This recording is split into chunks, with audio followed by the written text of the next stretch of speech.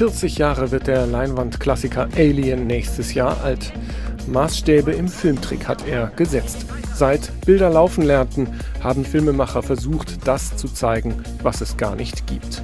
Visual Effects oder kurz VFX, damit beschäftigt sich jetzt eine Sonderausstellung im Filmmuseum Düsseldorf.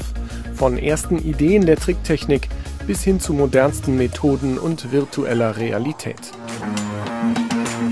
Es gibt viele Dinge zu erleben, interaktive Stationen, Rückprojektion in einem britischen Triumph Cabrio. Oder den Greenscreen selbst ausprobieren.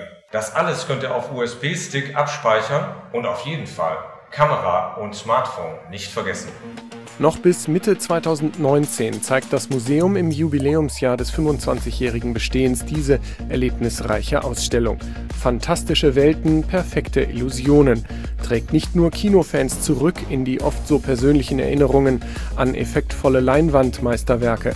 Alt und Jung können hier verstehen lernen, wie viel Trick vor 120 Jahren schon möglich war und wie wenig Realität heute in so manchem Film eigentlich noch steckt. Eintritt ab 2,50 Euro.